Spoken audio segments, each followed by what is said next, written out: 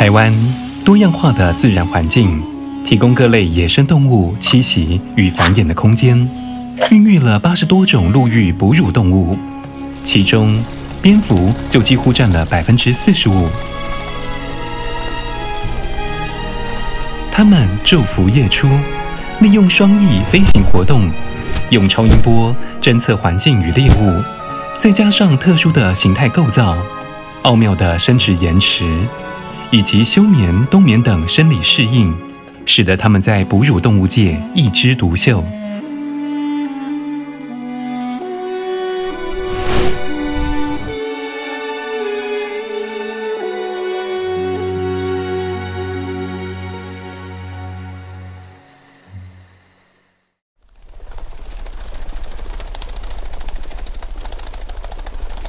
蝙蝠是世界上唯一会飞的哺乳类。它们偏好栖息在天然洞穴和人工隧道，少数利用岩壁缝隙，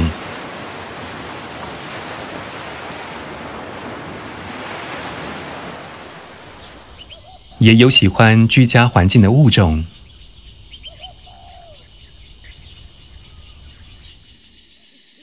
许多种类则以森林为家。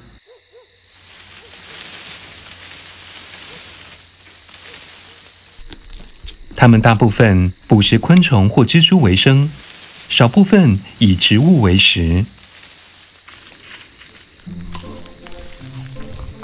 台湾的蝙蝠家族中，体型最大的是食果性的台湾胡蝠，双翼展开约一公尺，体重超过三百公克。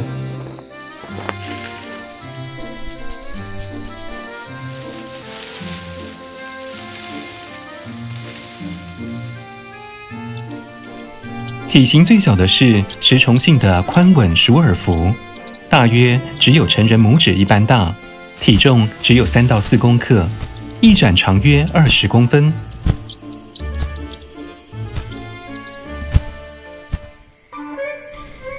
我们都知道，蝙蝠是夜行性动物，但它们是如何在漆黑的夜里侦测环境、捕捉猎物呢？这得归功于蝙蝠神奇的回声定位能力。蝙蝠赖以生存的超音波回声定位系统，是一种高度特化且复杂的声纳系统。它们利用声音反射来感受周遭事物，并及时做出反应，就如同我们人类的感官一样。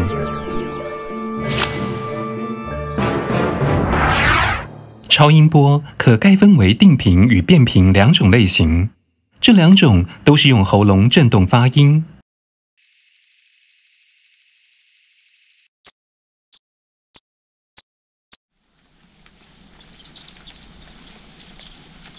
为什么有些蝙蝠长得像鼠类，有些具有怪异特化的鼻叶呢？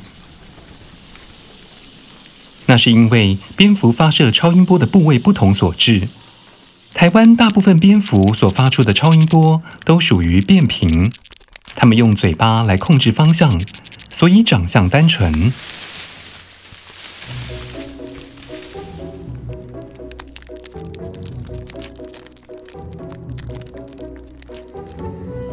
而定频类型的蝙蝠只有少数几种，像是台湾大蹄鼻蝠、台湾小蹄鼻蝠。和台湾叶鼻蝠，它们用鼻部控制方向，特化了鼻叶具有聚音的效果，使得蝙蝠不仅能在平原空旷地区飞掠觅食，同时也能在林间穿梭自如。蝙蝠凭借超音波飞行能力和独特的生理构造，主宰了夜世界的空间与食物资源，历经五千多万年的天择与适应。成功在地球上生存繁衍。